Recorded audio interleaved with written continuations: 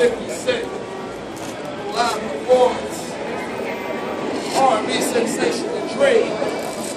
With DJ Homicide on the ones and twos this evening, folks. A lot of action, a lot going on this evening. All right here. On the side of the Yes, sir. Yes, sir.